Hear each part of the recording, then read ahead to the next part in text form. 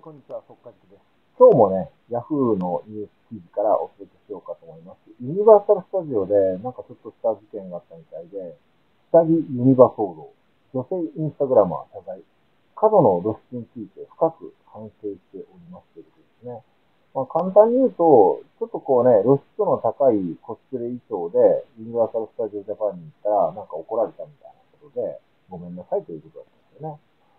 うん、なんか、女性ってなんでこう知らない人に自分の体をここまで見せたがるのかなっていうね、もうちょっと理解できないところは私にはありますけども、これ何なんでしょうかね。あの、やっぱこう、露出することによって、なんか喜びを感じるのか、多くの人に自分の肌を見せるほどの自信があるのか、様々だと思いますけども、なんかこれ、悪いと思って反省してるのか、それとも叱られたから形だけ反省してるのか、ちょっとなかなかわかりにくいところだなと思いますけど、反省してるんだったら二度とこういうふうなね、露出の高いようなインスタグラマーとしての活動をしないと思いますけども、別のところでやっぱり似たようなことするんじゃないかなと思うんですよ。うん。まあ、どちらにしてもね、女性がね、自分の体を、うん、なんかこう、晒して喜びを得たりとか、何か金銭的な対価を得るってことが、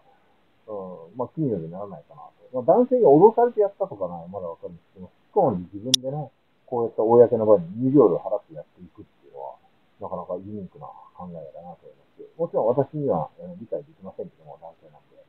まあ私もね、女性として生まれたらこういうことをしたがったのかもしれないですよね。女性っていつもはね、とかく不可解なもんでございます。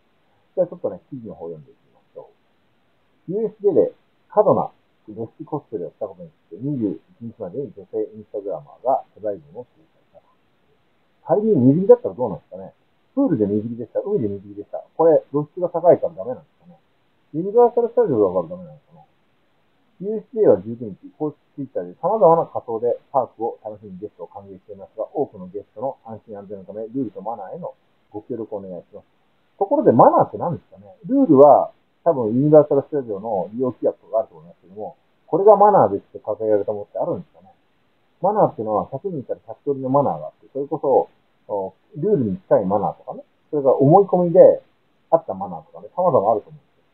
で。工事を両軸に反する服装やパークにふさわしくない過度などしてお断り、退場いただく場合があります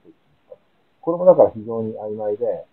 今まではどうだったのかなってことと、これからもどうなるのかなって、様々と考えがね、えー、分かれるところだと思います。USJ のテストをめぐっては、パーク内と見られる場所で、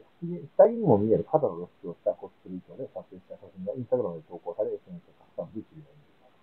誰が物理を呼んだんだろうな、ということもありますよね。本人がいいんならいいんじゃないかな、っていうふうな考え方もあれば、強制されたわけでも何でもなくてね、あの、まあ、脱ぎたいから脱いだってことなんですね、きっとね。でもそれを喜ぶ人がいるっていうふうに考える女性の考えも、また一つ、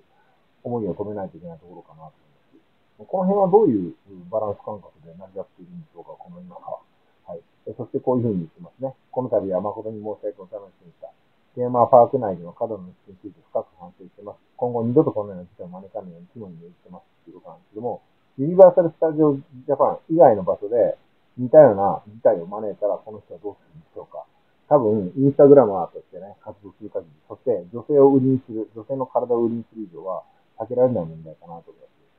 うん。なんかね、奇妙な話だと思うんですよね。うん。なんかこう、グラビアアイドルがユニバーサルスタジオに撮影してもダメってこと。どうなんですかね。はい。様々奇妙なことでございます。